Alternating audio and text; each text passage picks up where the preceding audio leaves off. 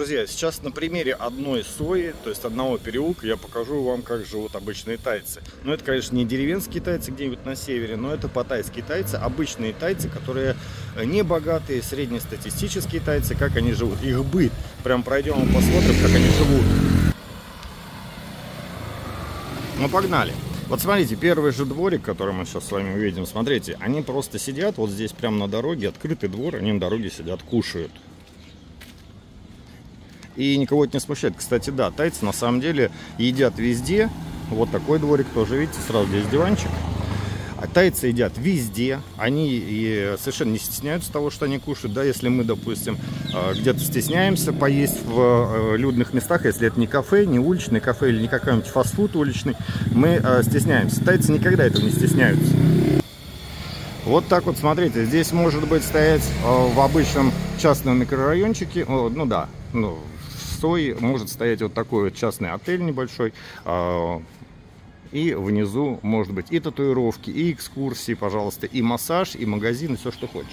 Здесь тоже, кстати, вот смотрите, это обычный частный дом, и внизу магазин. Кстати, на одном переулке, ну, естественно, э, национальные буддийские вот такие вот мини-храмы, не знаю как. Это обычный частный дом, это обычный частный дом, внизу магазин. И, кстати, да, вот там, вы видите, водомат, а, кстати, да, тоже очень такая тема. Водоматы и стиральные машины в частных магазинах это частое распространенное явление. То есть а, вот такой водомат, он подключается к центральному водопроводу и пожалуйста, подходи за один бат, наливай воды. А, есть компании, которые устанавливают такие водоматы, но я так полагаю, что они делятся. Компания с частным домом, они делятся деньгами, которые будут заработаны с обслуживания клиентов, которые наливают воду. Ну что еще? Тайцы, как я говорил, что э, любят поесть, они э, едят везде, едят на людях, они просто садятся на каких-то э, пляжных улицах, едят, это все прям располагается, подстилая какие-то циновочки, подстилки на дороге, прямо едят, люди ходят, они у них прям чуть ли между ног, ну, в ногах это все едят, и вообще без зазрения совести. Вот так вот, видите, дама сидит, что-то чистит, это дворик, вот кстати, да, вот смотрите, вот этот вот момент э, готовится макашница.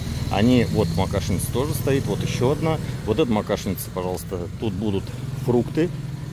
Э, все это в частном доме нарезается и потом вывозится в центр, на центральной улице и, э, пожалуйста, продается людям. Но это не возбраняется, никакого Роспотребнадзора. Здесь нет жарко, очень сегодня солнечно и жарко. Вот такие навесы. И все это продается туристам. Но а на самом деле, вот, пожалуйста, тоже вот такой. Вот видите, частный двор. Частный двор. И, пожалуйста, там какой вот, вот мини-магазинчик такой, я не знаю, что. Ну, конечно же, туристы туда не пойдут, ничего есть. А, но местные, видимо, заходят. Вот еще, вот смотрите, да, постирали белье и вывесили на всеобщее обозрение. Двери могут быть вот так вот в дом открыты прям. И можно видеть, что там происходит внутри. Диваны стоят, какая-то мебель. Как же вот люди. Вот, пожалуйста, тоже. Вот прям магазин. Частный дом и магазин. Это выглядит прям реально странно. Реально странно для нас. Вот, пожалуйста, о чем я и говорил. Вот, смотрите, какой милый домик. И вот, пожалуйста, вам видна гостиная, что там внутри.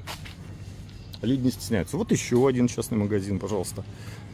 И тут же можно и еду себе приобрести, и выпивку, напитки, э, все такое. Вот, вот так вот разводят питьевую воду, развозят в баклажках.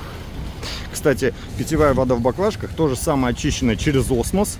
А, как я вам сейчас показывал, водомат. Только с доставкой баклажка будет стоить 45 бат. А налить в водомате такую баклажку 19-литровую, как сейчас проехали вот эти синие, она будет стоить 12 бат. И еще один интересный момент, друзья, который я вам тоже хотел показать. Помимо водоматов, возле а, обычных домов могут быть расположены вот такие стиральные машины. 40 бат и 30 бат стоимость с одной стирки. Так же самое здесь закладываем монетки и выбираем программу. И, пожалуйста, вот стираем. Все чисто, все аккуратно, все приемлемо. А, забрасываешь стирку, никто твое белье не украдет. Там час или полтора будет стирка длиться. Можешь уйти домой, если ты живешь рядом, и подойти к назначенному времени, когда стирка будет готова, забрать свое белье. Значит, друзья, а, интересный момент, знаете какой? Когда покупаешь стиральную машину в магазине, когда покупаешь в магазине, а, рядом продаются прям вот эти вот кассы. То есть ты можешь купить и стиральную машину, и кассу сразу же. Подключаешь это возле своего дома, если у тебя есть дом в Таиланде, ставишь это на улице и люди обычно будут приходить возле твоего дома стирать и платить тебе э, деньги. Но единственное, что нужно порошок. Нужно порошок, либо, я не знаю, тут я просто никогда не пользовался. Э, порошок приносить с собой по ходу дела.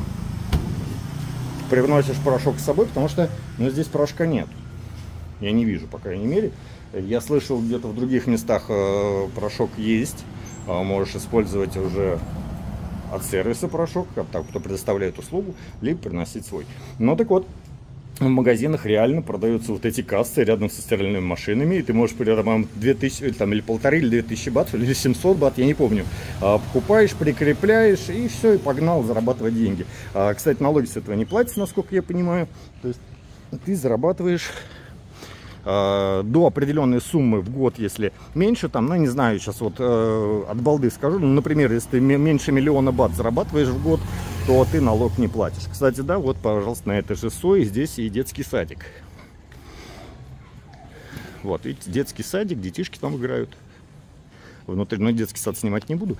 И вот еще тоже на углу, пожалуйста, еще тоже один магазин. Но это уже такой прям цивильный магазин-магазин. Не то, что мы с вами сейчас видели предыдущие. Здесь прям магазин-магазин. И вот девушка-хозяйка, она здесь еще и готовит шашлычки. Вот такого плана. Кстати, давайте я вам покажу. Вот. Вот такие вот шашлычки всякие разные. Ну, кто был в Таиланде, тот знает, что это такое. Ну, 10 бат стоит одна шпажка. Это довольно-таки вкусно. А, ну, так перекусить забавно где-то порядка там 25 рублей, что ли, а, получается на наши деньги. Там можно и курица, и сосиска, и креветки, и все, что хочешь, короче, на этих шпажках тебе делать. Вот. Ну и, конечно же, везде, а, в Таиланде практически на каждом углу стоят а, вот такие вот, я не знаю, как это честно сказать называется, друзья. Ну, это подношение Будди, они стоят везде, видите, фонарный столб, с кучей мотков проводов и рядом а, вот такой вот типа мини-храмчик. Вот, друзья, вот я вам показал немножко, как живет а, обычный Таиланд, обычные люди в Таиланде, которые живут не в туристической зоне, где-то километр от туристических маршрутов, от а, пляжной линии. А, просто обычные люди, обычный, обычный быт а, тайских жителей. А, именно в Паттайе. Конечно же, а, когда-нибудь придет время, может быть, через какой-то период времени мы с вами съездим обязательно на север, именно э, в те районы, где нет вообще туристов, где тайцы просто будут дико восторгаться, увидев белого европейца, такого, как я, ну, я себя причисляю к европейцам, но мы, русские, считаемся европейцами в Таиланде, не азиатами же. И на самом деле, кстати, вот это вот, смотрите, вот это э, манговое дерево. На минуточку. Это манговое дерево. Съездим туда и посмотрим, как живут люди э, в Таиланде. Кстати, ну, я вам сейчас показывал детский сад, а вот здесь школа. Вот это школа, друзья. Все, друзья, подписывайтесь на канал, впереди будет очень много интересного, всякого разного. Снимаю все, что вижу э, сам, снимаю самое интересное, снимаю для вас, чтобы вы, кто не был в Таиланде, имели себе представление, как живет э, Таиланд, как живут люди в Таиланде. И конечно же, все испытано на себе. Внизу под, этой, под этим видео ссылочка на телеграм-канал, который только развивается. Э, все о Таиланде. Подписывайтесь. Удачи вам!